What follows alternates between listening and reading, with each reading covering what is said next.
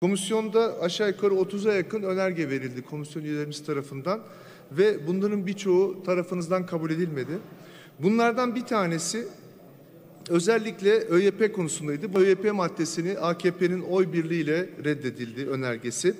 Daha sonra doçentlik başvurularının e, zamana kısıtlanmamasını bütün yıl boyunca yapılmasını önermiştik. Bu da AKP tarafından oy birliğiyle reddedildi. Doçentlerin ve profesörlerin motivasyonu ve denetimi açısından bir puanlama sisteminin getirilmesini önerdik. Bu da AKP tarafından oy bile reddedildi. Daha sonra tüm yayınların ulusal arşivde toplanması ve bir ulusal arşiv tez ve yayın e, sistemi oluşturulmasını istedik. Ulusal tez bölümü kabul edildi, yayınlar kabul edilmedi. Yarın doçent kadrosundaki doçentlerin koşulsuz olarak kadrolarına atanmasını, bu haksızlığın giderilmesini. Çünkü bu insanların yarın doçent kadrolarında doçent ünvanı aldıkları halde özlük haklarından ve bir takım e, maaş kayıplarından bahsettik. Bu insanların haklarını bu bir fırsattır. E, iade edelim dedik. Bu da AKP tarafından kabul edilmedi. Kadro atamalarının rektörler inisiyatifine bırakılması bu tasarının önemli açıklarından bir tanesi.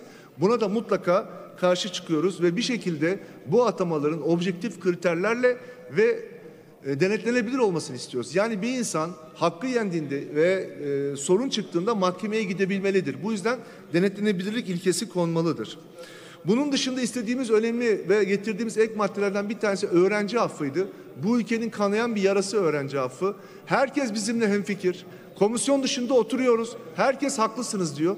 Ama geliyoruz hiç kimse öğrenci affına el kaldırmıyor. Nitekim AKP'nin oy birliğiyle reddedildi. Buradan ben bütün öğrenci affı bekleyen ailelere ve öğrencilere söylüyorum. Arkadaşlar bu insanlar nereye gitsinler? Başka yerde okuma şansları yok ki. Başka ülkeye gitmekten başka koşul da yok. Yani biz başka ülkelerden öğrenci gelsin diyoruz. Kendi ülkemizin insanları okullarını ve eğitimlerini tamamlamak için başka yerlere gitmek zorunda kalıyorlar.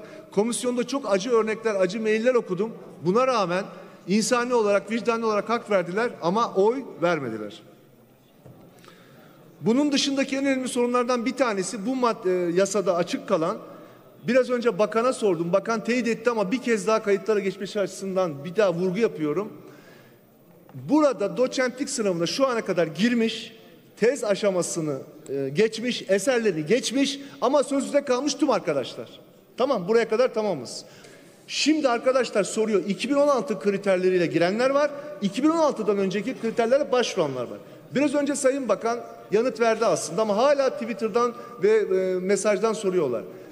Diyoruz ki 2016 ve öncesi giren veya sonrası fark etmiyor. Sözlüden geç, e, kaldıysanız, eserden geçtiyseniz bu yasaya göre herkes doçentlik ünvanı alır. Bak kadroya atanır değil ama ünvanı alır. Doğru mudur Sayın Bakanım? Bakan teyit ediyor. Ben burada e, vurgu yapayım. Biraz önce söyledi ama yine de arkadaşlar çok emin olamamışlar. Sonuç olarak buradaki asıl sorun şimdi doçent atamasın. Yani bir insan doçent oldu ama bir yere başlaması lazım. Eğer özel sektörde çalışmayacaksa buradaki atamanın rektörlere bırakılmış olması sorun. İşte bunu gelin hep beraber bunu objektif hale getirelim. Yoksa yanlı ve yandaş atamaların önüne geçemeyiz. Bu yüzden hepinizin ilgisini, dikkatini ve bu konuda duyarlılığını bekliyorum. Bütün heyetinize de teşekkür ediyorum. Sağ olun. Teşekkür ederim Sayın